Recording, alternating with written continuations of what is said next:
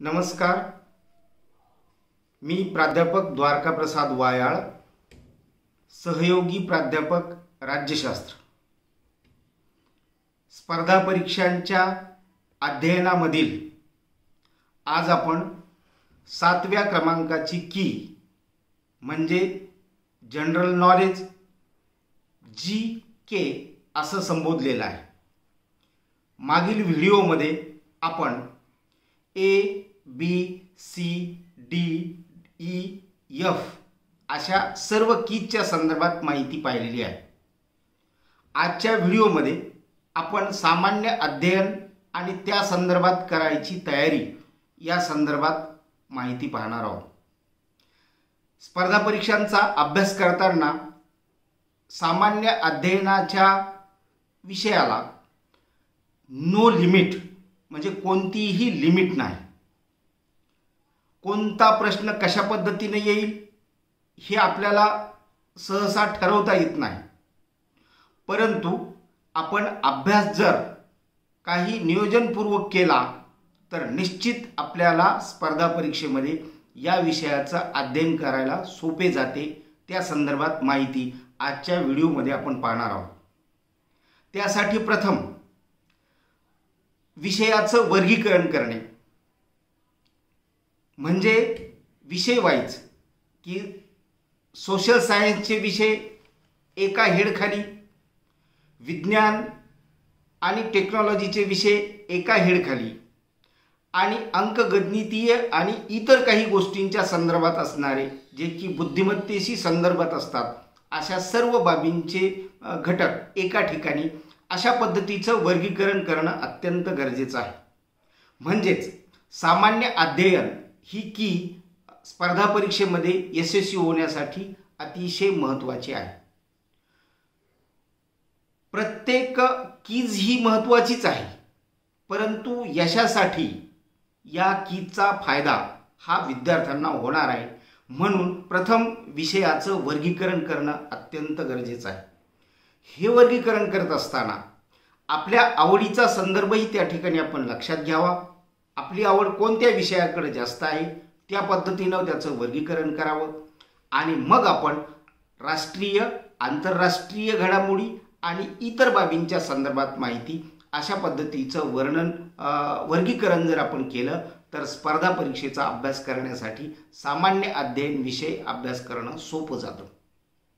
म्हणून वर्गीकरण हे प्रथम शब्दप्रयोगाच्या माध्यमातून आपण हे विश्लेषण पाहत आहोत. दुसरा जो काही शब्दप्रयोग आहे तो आहे या शब्दाच्या अंतर्गतच जी पद्धती तुम्हाला स्वीकारायची आहे अध्ययन करण्याची पद्धती त्या पद्धतीमध्ये एक भाग असा की अभ्यास करत असताना वर्णनात्मक पद्धतीचं अध्ययन करणं आणि वस्तुनिष्ठ पद्धतीचं अध्ययन करणं. अशा दोन गोष्टी विद्यार्थ्यांनी लक्षात घ्याव्यात आणि हे दोन गोष्टी जर लक्षात घेतल्या तर सामान्य अध्ययन करणं सोपं जातं. ज्यावेळेस आपण वर्णनात्मक पद्धतीनं अध्ययन करतो त्यावेळेला एकाच पॅरेग्राफमध्ये आपल्याला एक दहा ते वीस क्वेश्चन्स तयार करतात येतात. मात्र वस्तुनिष्ठ पद्धतीनं आपण जाण्याचा प्रयत्न केला तर आपला वेळ जास्त खर्च होतो. म्हणून अध्ययन करत असताना या बाबीला महत्त्व देणं अत्यंत गरजेचं आहे. म्हणून वर्णनात्मक आणि वस्तुनिष्ठ अशा पद्धतीचा अवलंब सामान्य अध्ययनाचा अभ्यास करताना विद्यार्थ्यांनी करावा. आणि याचबरोबर म्हणजे याच्यात जो काही तिसरा शब्दप्रयोग आपण केलेला आहे तो आहे आवाक्याचा.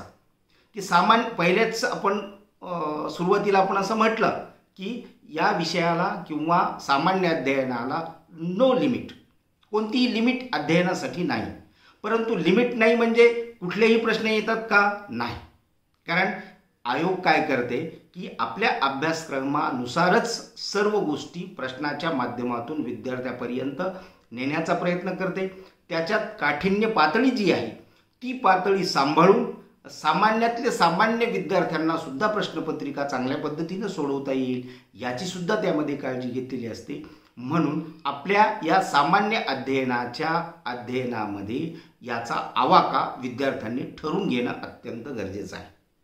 कारण विषयाचा आवाका एकदा आपल्याला लक्षात आला की मग आपण अध्ययन चांगल्या पद्धतीनं करू शकतो आणि हे अध्ययन एकदा चांगल्या पद्धतीनं सुरुवात जर झालं तर मग विद्यार्थी यशस्वी होऊ शकतो. विद्यार्थी यासाठी आपण असं म्हणालो कारण सध्याची जी काही परिस्थिती आहे ही परिस्थिती आता बदलत चाललेली आहे. बदलत चालली म्हणजेच कोविड एकोणीस नंतर आता संपूर्ण अध्ययन पद्धती ज्या पद्धतीनं बदलत जाणार आहे त्याचाच एक भाग म्हणून आता सामान्य विद्यार्थीसुद्धा या परीक्षेकडे वळतील.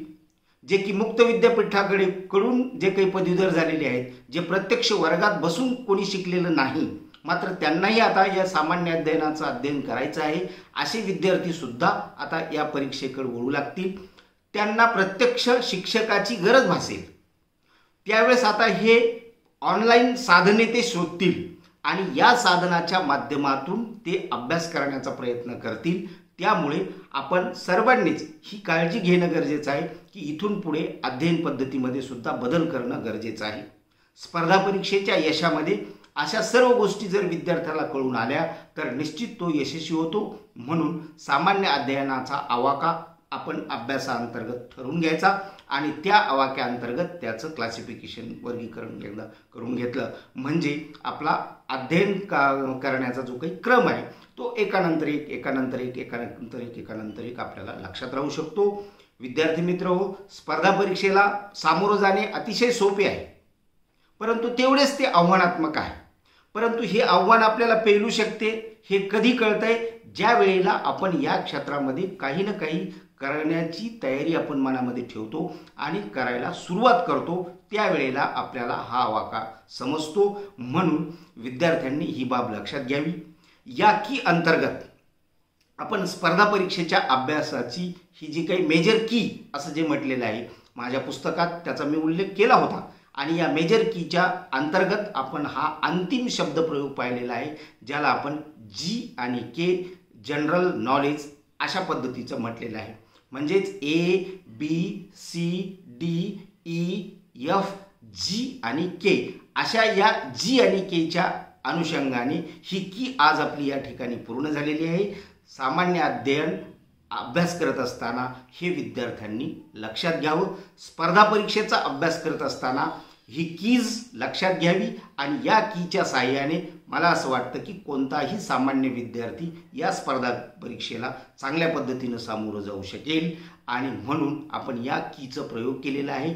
या कीचा प्रयोग केल्याच्यानंतर मला असं वाटतं की विद्यार्थ्यांना यशामध्ये ही की त्यांना भागीदारी ठरेल किंवा यशाकडे घेऊन जाईल. म्हणून आपण या ठिकाणी ही माहिती पाहिली. धन्यवाद.